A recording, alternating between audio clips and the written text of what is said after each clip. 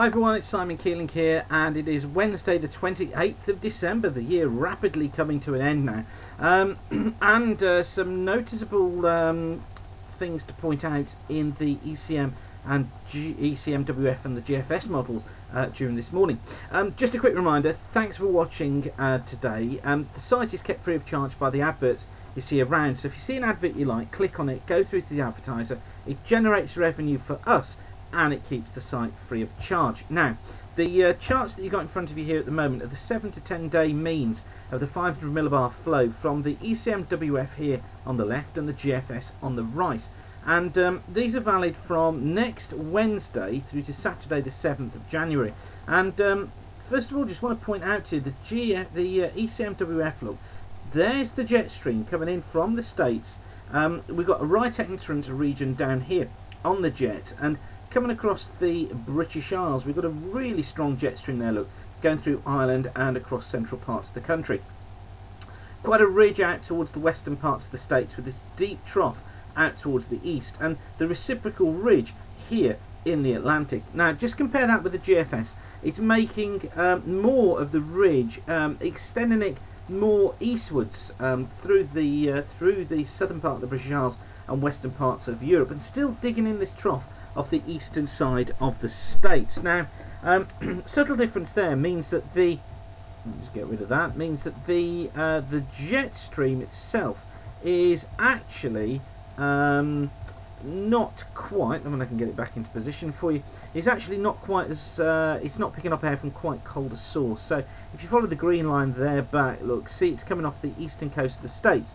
Um, as opposed to the GFS, which has got uh, the green line further south, and trace the blue line back and it's coming off Newfoundland. So we got a bit of a discrepancy there still between the models. This was there yesterday and it's there again today.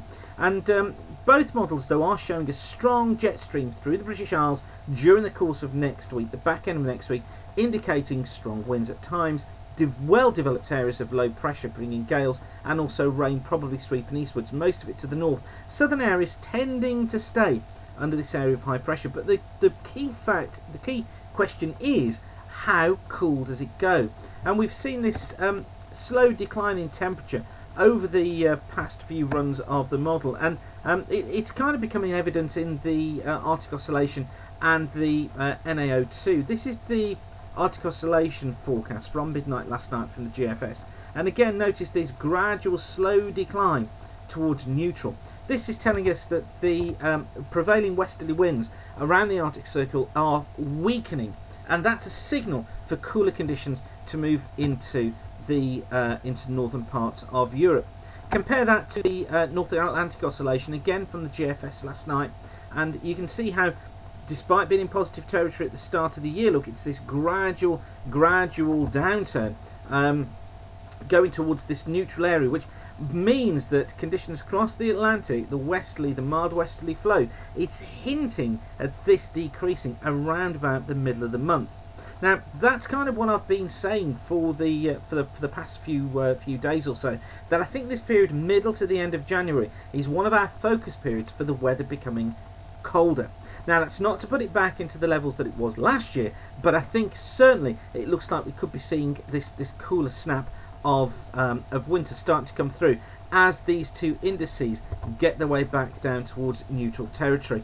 Of course, I'll update you more and more as we go through the coming days. Uh, but for now, keep the sun shining. Thanks for watching. And remember to support the site. If you see an advert you like, click on it uh, and go through to the advertiser. Once again, thanks for watching and keep the sun shining.